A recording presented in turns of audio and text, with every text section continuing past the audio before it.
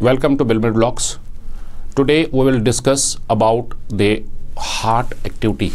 What I mean by heart activity, whenever you are measuring the fetal heart rate in an early pregnancy, you are then counting how much. You are not counting, the machine is counting how much is the fetal cardiac activity. Now, not only to label that this is the heart rate, but you have to correlate your heart rate, whatever you are getting heart rate with the CRL.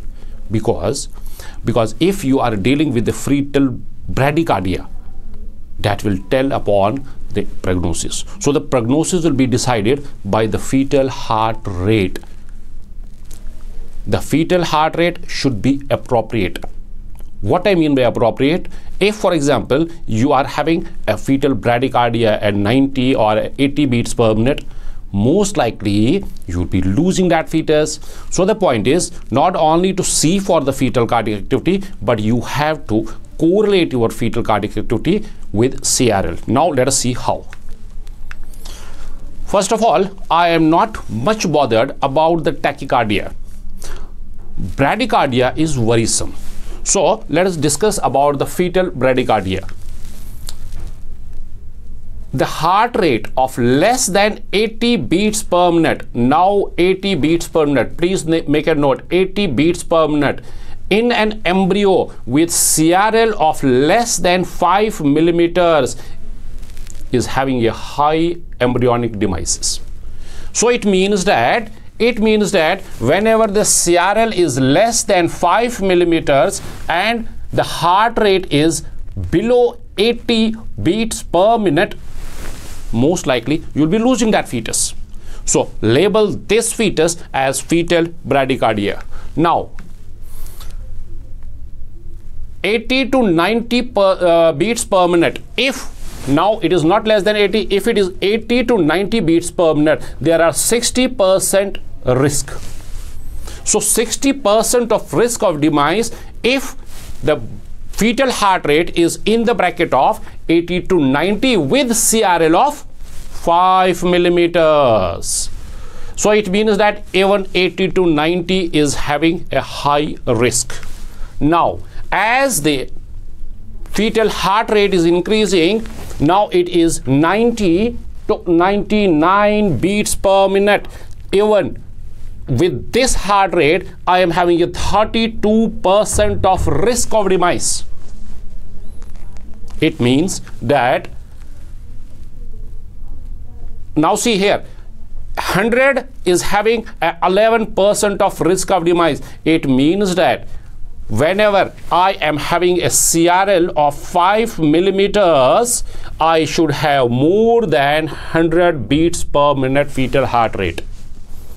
Now see, more than 100 with CRL of 5 and the dropping, now concentrate here, the dropping, the dropping CRL, uh, sorry, the fetal heart rate is increasing the risk of demise. So more it will drop, more the risk is there.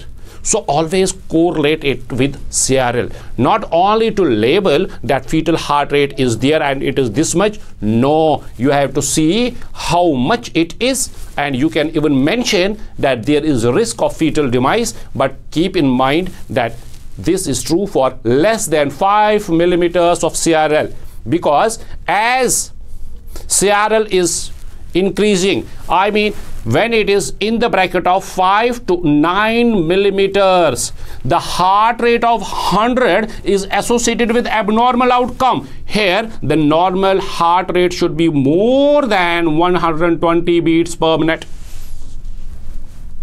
Now make a note that whenever crl is less than 5 millimeters the heart rate should be more than 100 beats per minute but as the fetus is advancing i mean as the crl is going from 5 to 9 millimeters the heart rate has to increase and it should be more than 120 beats per minute.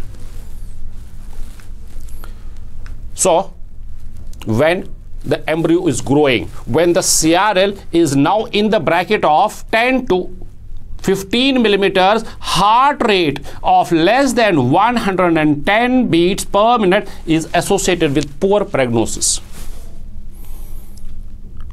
So, make a note that whenever fetal heart rate is dropping, whenever there is fetal bradycardia, that is not a good sign. It is having a poor prognosis and see how much CRL is there.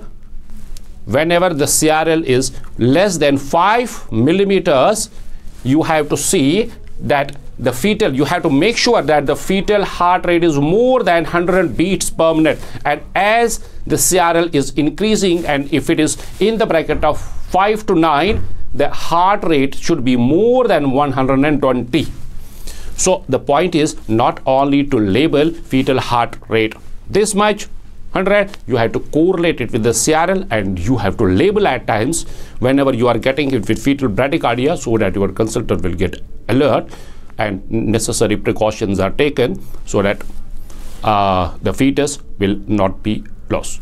So I hope that uh, you are enjoying these uh, Bilmed vlogs. For complete courses, you can visit our website www.bilmed.net or you can contact our helpline. Thank you very much.